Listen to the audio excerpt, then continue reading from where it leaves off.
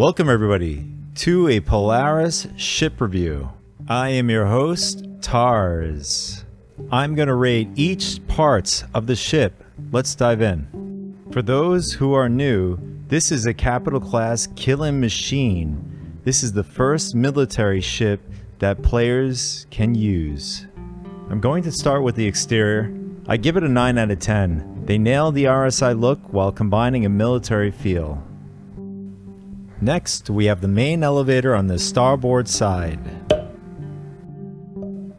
The main elevator comes out through a hatch, similar to a Hercules and Corsair and maybe others. As you can see, the platform is really big.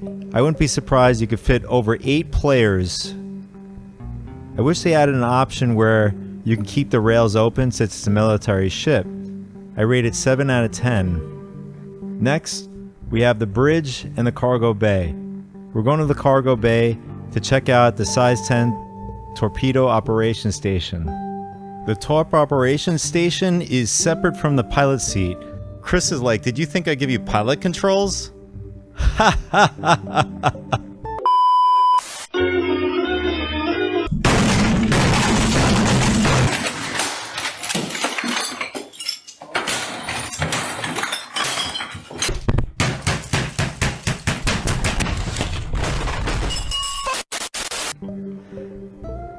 As you can see, the console is straightforward, very easy to use.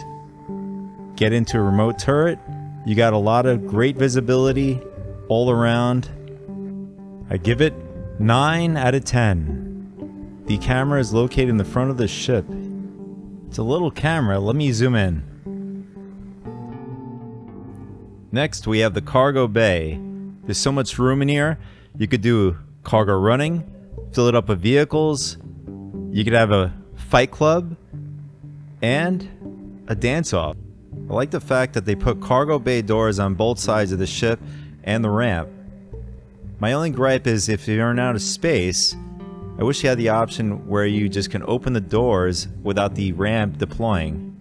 I give the cargo area 8 out of 10. Very ergonomical, double the predictivity.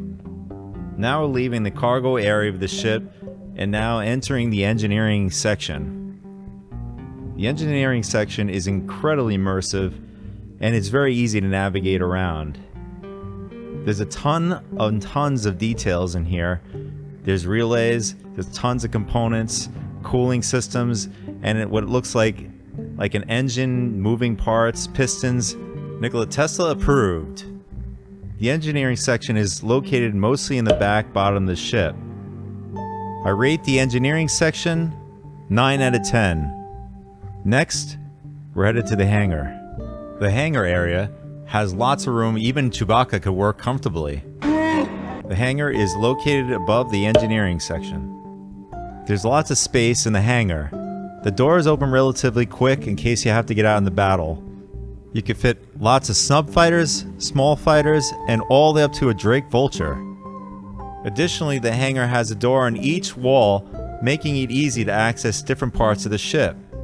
There are lifts located here and here that take you down to the cargo bay or back up to the hangar. This wraps up the hangar.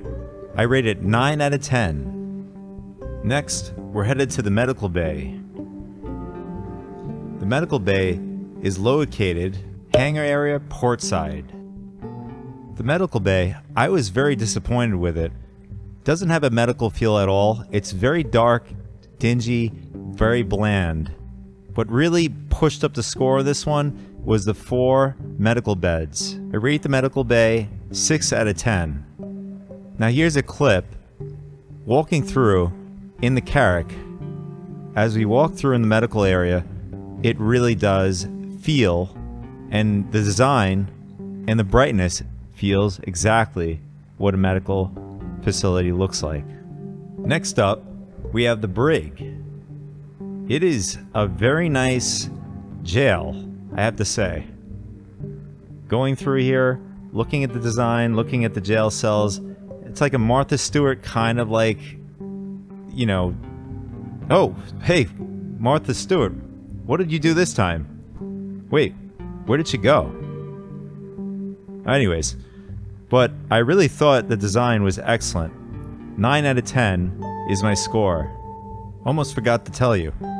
The brig is located starboard side hangar area. Next, we're going to the mess hall, which is located in the port side.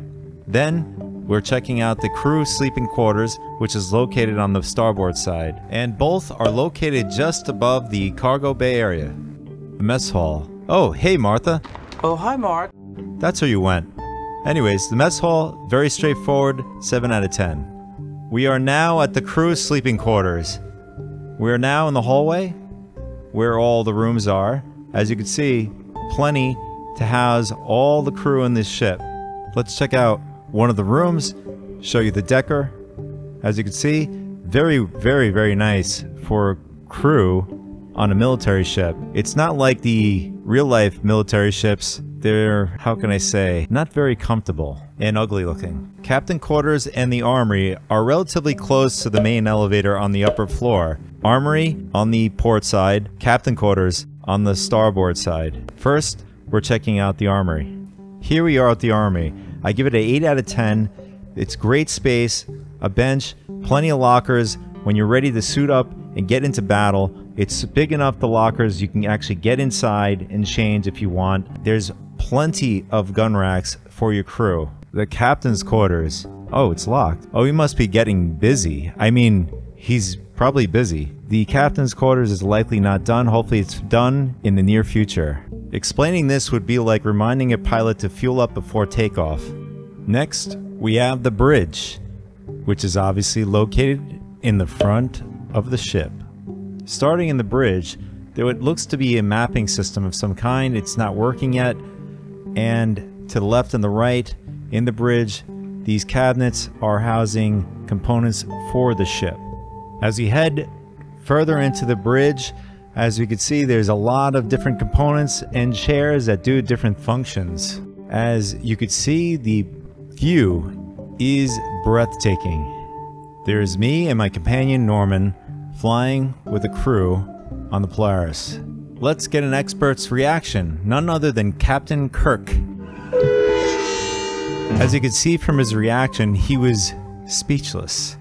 I give the bridge 10 out of 10. Last but not least, let's talk about the sheer firepower this ship has. 28 size 10 torpedoes, two forward-facing missile racks, each holds 8 size 3 missiles. One rear-facing remote turret. This turret holds 12 size 2 missiles. Two size 6 guns, manned turrets. Four size 3 guns, manned turrets. Four size 3 guns, remote operated turrets. Last but not least, point defense cannons, and there's seven of them. Man, I don't know about you guys, but that's a whole lot of firepower. Whether you're playing defensively, offensively, or both, this ship will not disappoint. It lives up to its reputation as a capital class killer. I rate it 8 out of 10. That brings the overall score for the Polaris 8.18 out of 10. The ship's a real workhorse, built tough for big battles and hard jobs in the vastness of space. Whether you're fighting off enemies or just hauling cargo, the Polaris gets the job done right. Buyer beware, the last listed price known to induce a heart attack was $750.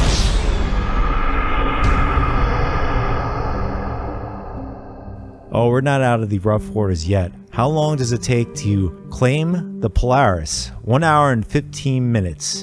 And how much is it to expedite the Polaris? Almost 50,000 AUEC. Well, it's a good thing you're already at the hospital. It's time to bring this to a close. As much fun as I've been having, and I want to stay a little longer, I have to get going. Anyways, what are you guys are going to do with this Polaris? Are you going to do cargo missions? Are you going to be the enemy? Are you going to be the hero in the story here? Tell me in the comments below. Also, if I entertained, hit that subscribe button and smash that like button. I'm also on Twitch. Currently, I don't have a schedule, but I do live stream. Thanks for watching. See you in the verse.